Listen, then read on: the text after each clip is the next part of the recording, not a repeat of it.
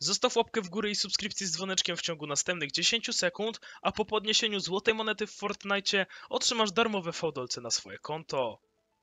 Chcesz mieć karnet bojowy w Fortnite, a nie masz fałdolców? To dobrze się składa, ponieważ na moim kanale jeszcze trwa konkurs na dwa karnety bojowe. Jeżeli chcesz wziąć udział, to wystarczy, że zasubskrybujesz mój kanał wraz z dzwoneczkiem, zostawisz łapkę w górę pod tym filmem, w komentarzu napiszesz swój nick z Fortnite'a i użyjesz w sklepie mojego kodu LOL-HEXO, a możliwe, że to właśnie ty wygrasz.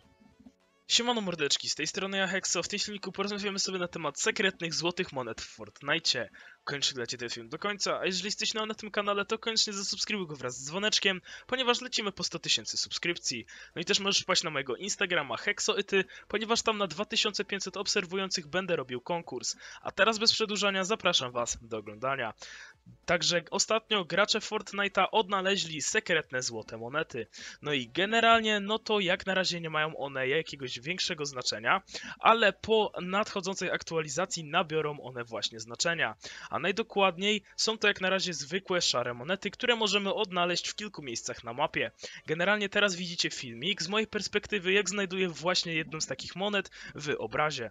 No i tak naprawdę ta moneta nic wielkiego nie robi, tylko po prostu jest ona w naszym ekwipunku i tam zostaje. Lecz gdy przyjrzymy się tej oto monecie, no to widzimy tam z jednej strony znak jakiejś lamy, a z drugiej strony znak fałdolca. Co może oznaczać to, że na przykład za zdobycie takich monet będziemy otrzymywali darmowe fałdolce. Generalnie opcji jest kilka, ale właśnie teraz przedstawię wam kilka z nich. Jedną z tych opcji, najmniej prawdopodobną, będzie to to, że są to monety do jakiegoś wyzwania.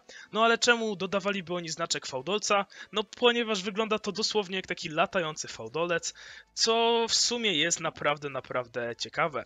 Generalnie kolejną opcją jest to, że po podniesieniu tej monety na nasze konto otrzymamy automatycznie 10 fałdolców.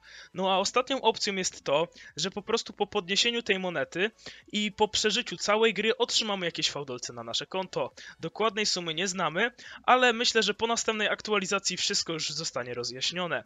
No także Wydaje mi się, że jak na razie nie ma jakiegoś większego sensu, żeby te monety zbierać, ale po aktualizacji myślę, że jakiś sens będzie.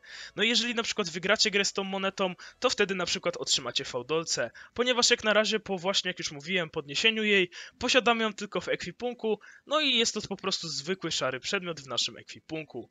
Więc na razie nie ma to większego znaczenia, ale po następnej aktualizacji będzie miało. Lub możliwe, że jest to też nadchodzący materiał do Fortnite'a, a najdokładniej złoto, ponieważ gracze wraz ze startem nowego sezonu y, myśleli o czymś takim, jak y, gdyby wprowadzić na przykład nowy materiał, a najdokładniej złoto.